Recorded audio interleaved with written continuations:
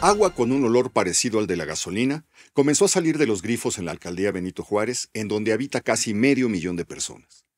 Ante los reportes de los vecinos que fueron creciendo a partir del 31 de marzo, el gobierno de la ciudad negó que ninguna de las muestras que había levantado emitiera un olor extraño y sostuvo en un comunicado que el agua suministrada por la red era de buena calidad y apta para el consumo humano. En los días que siguieron los reportes continuaron en un arco que abarcaba las colonias del Valle, Narvarte, Nochebuena, Ciudad de los Deportes, Tlacoquemecatl y Extremadura. Fueron en total nueve colonias que tenían frente a sí la disyuntiva de creerle al gobierno de la ciudad o de creerle a su, a su sentido del olfato. Se reportaron casos de diversas afectaciones a la salud, desde dermatitis hasta náuseas, pasando por problemas gastrointestinales. Medio millón de personas vivieron en riesgo a lo largo de varios días, mientras el gobierno que encabeza Martí Batres, famoso en otro tiempo por haber repartido leche contaminada con materias fecales, mantenía a los habitantes de esas colonias en una total incertidumbre. Más de una semana después, Batres admitió que los vecinos estaban en lo cierto, que en un punto muy focalizado, el pozo que se ubica en la colonia Alfonso XIII, en la alcaldía Álvaro Obregón, y que alimenta de agua esas colonias, se hallaba contaminado con un líquido que pertenece a la familia de los lubricantes. A lo largo de esa semana, mientras el gobierno de la ciudad lo negaba, personas y mascotas estuvieron en contacto con un líquido que sencillamente no era apto para el uso ni el consumo humano. Medio millón de personas vivieron en riesgo y durante ese tiempo solo recibieron falsas certidumbres, así como comunicados plagados de mentiras.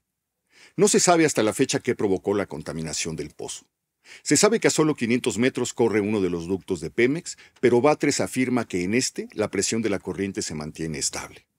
Se trata de uno de los mayores atentados contra la salud pública que se han desatado en la ciudad. 500.000 personas han sido puestas en riesgo, y sin embargo, hasta el momento, nadie sabe qué ocurrió y por lo tanto no existen renuncias ni sanciones. El caso de la línea 12, que dejó 26 muertos, quedó marcado por la impunidad, el sello característico de la 4T. Solo hay que recordar cómo se protegió a la entonces directora del metro, que llevaba más de un año sin nombrar a un encargado de mantenimiento. Solo hay que recordar la tragedia que dejó 40 migrantes muertos en una estación de Ciudad Juárez y ver cómo el entonces titular del Instituto Nacional de Migración continúa gozando de un sueldo y de una posición en el gobierno. ¿Ocurrirá lo mismo con el agua envenenada de la alcaldía Benito Juárez? ¿Hasta cuándo tendrán certeza los vecinos de lo que realmente ocurrió? El agua que bebemos es un problema no solo de la ciudad, sino de todo el país. La Comisión Nacional del Agua ha sufrido recortes año tras año. En 2024, su presupuesto es 15.7 menor al del año anterior.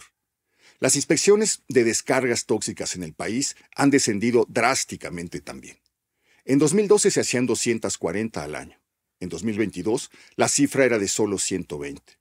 Por los recortes al presupuesto, solo hay 163 inspectores encargados de hacer esa labor. 163 para todo el país. En la Ciudad de México el 60% del agua de la cuenca se halla infectada con algún tipo de contaminante, sólidos suspendidos, coliformes fecales o metales pesados. De acuerdo con el Centro de Estudios Demográficos Urbanos y Ambientales del Colegio de México, de 48 contaminantes que deben ser monitoreados para que el agua se considere apta para el consumo humano, solo se monitorean cuatro. De 4.233 sitios monitoreados en 2022, 30% de estos no cumplían con las normas vigentes.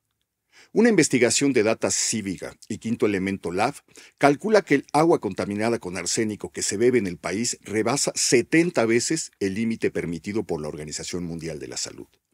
De 257 potabilizadoras capaces de remover del agua el arsénico o el fluoruro, solo están en operación 173. La mayor parte de los pozos del país están en niveles de contaminación máximos a los permitidos. La extracción desmedida de agua ha hecho subir los niveles de arsénico y fluoruro en ciudades como Guadalajara, La Paz, Hermosillo, Villa de Cos, Tlajomulco y la Ciudad de México.